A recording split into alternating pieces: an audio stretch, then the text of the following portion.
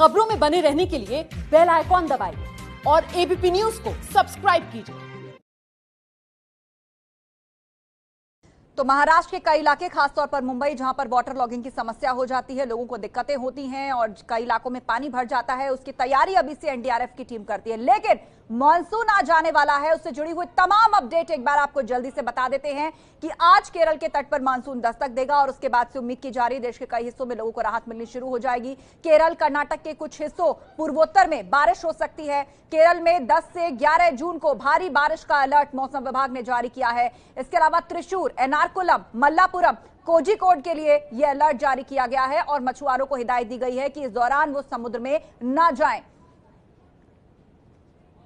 आज केरल पहुँचने वाला है मानसून और देश भर में उम्मीद जगी है कि आज से गर्मी से कुछ राहत मिली कुछ इलाकों में शुरू हो जाएगी।